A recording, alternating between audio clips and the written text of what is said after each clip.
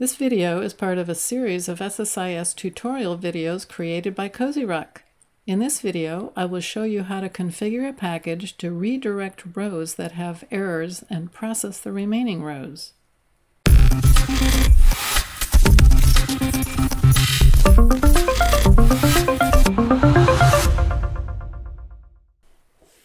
Here's the file I'll be using for the source data. It's an Excel file and it has eight columns.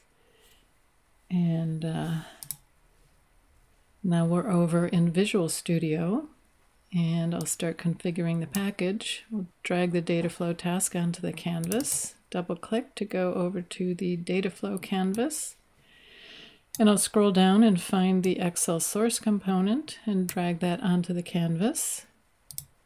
We'll be using this to read debit card data.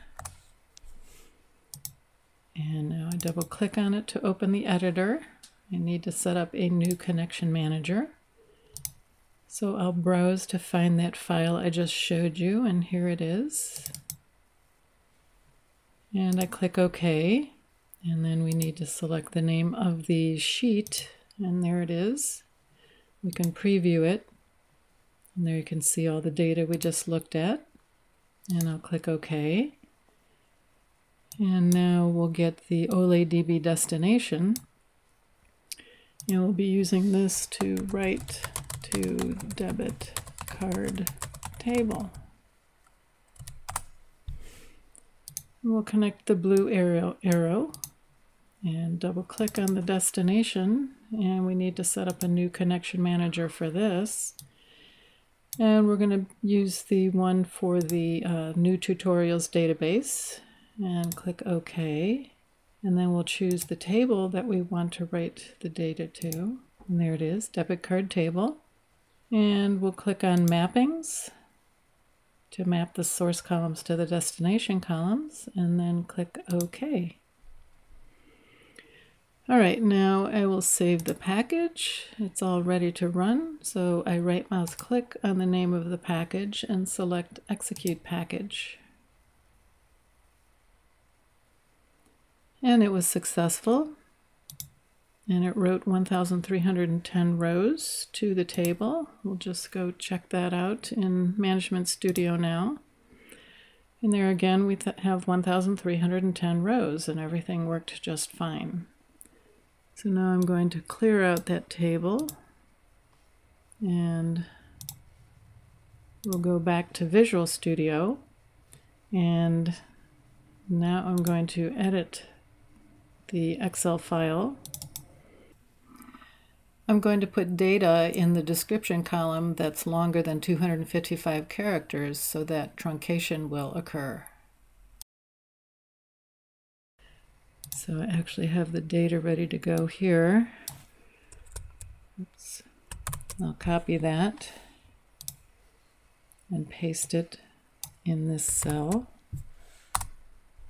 And we'll save the file and then close it.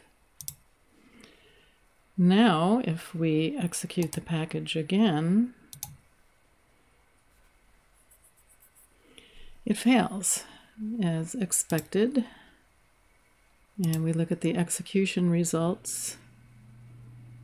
And here you can see that text was truncated. I'll copy this and paste it in our Word document so you can see the full message there. Text was truncated or one or more characters had no match in the target code page.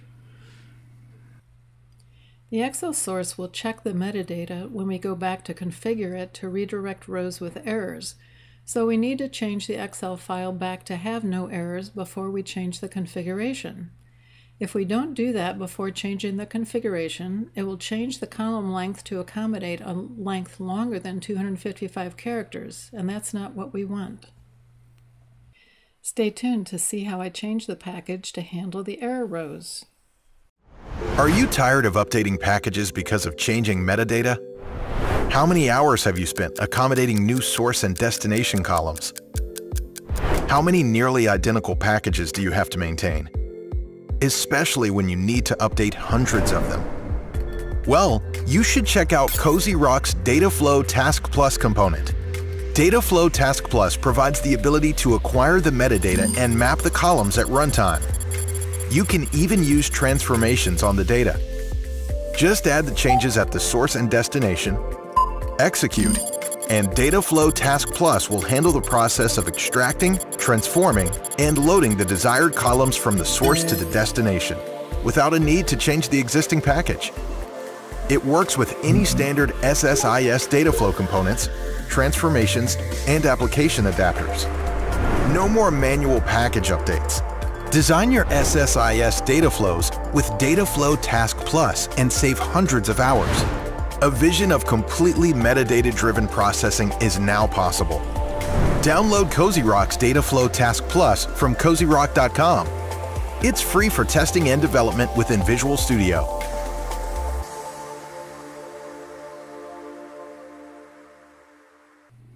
Now we want to set it up so that it can take care of rows with errors and just redirect them to a different table and let the package actually complete for the rows that are good, that don't have a problem. All right, now I'm going to set up the second OLEDB destination to write error rows. And now when I click here, I'm offered this red arrow, which you always are, but I'm going to actually select it and drag it over to this OLEDB destination. So I click here under error, and then I hold down the shift key and click down here to select all of the columns. And then down here, I'll change it to redirect row. And then I click on apply. And over here under tr truncation, I'm going to do the same thing. And again, I'll just redirect the rows to my new OLEDB destination. Now I need to complete the configuration of this destination component. And now I pick a different table called error rows. And I need to click on mappings so that everything gets mapped. And down here you can see all of the columns that are coming out of Excel are mapped to this uh, error row table. And then we also have two extra columns that it adds in to give us information about the error that occurred. So I'll click OK. I'll save the package. And then I right mouse click on the name of the package and I select execute package all right, so uh, it was successful, and I forgot to reintroduce the long data. So now I need to go back and open up the Excel file. Go over here and copy this long data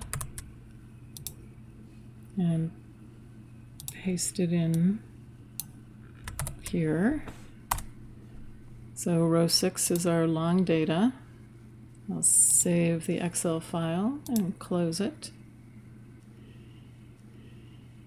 And we're back in Visual Studio and I'll save the package. Oh, I need to go and clear out our table too.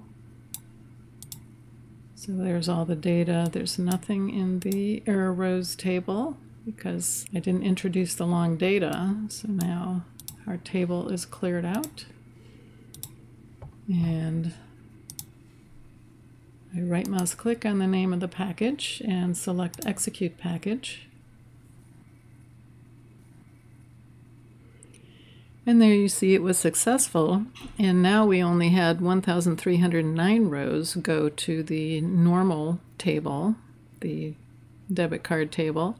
And we had one row go to the error rows table. So I'll stop debugging and open up Management Studio and select all the rows from this normal table and there you can see we have 1,309 rows in there and then in the error rows table we only have one row. This is the row where I added some long data to the description column. Thank you for watching. If you'd like to follow us on social media, here's how you can do that.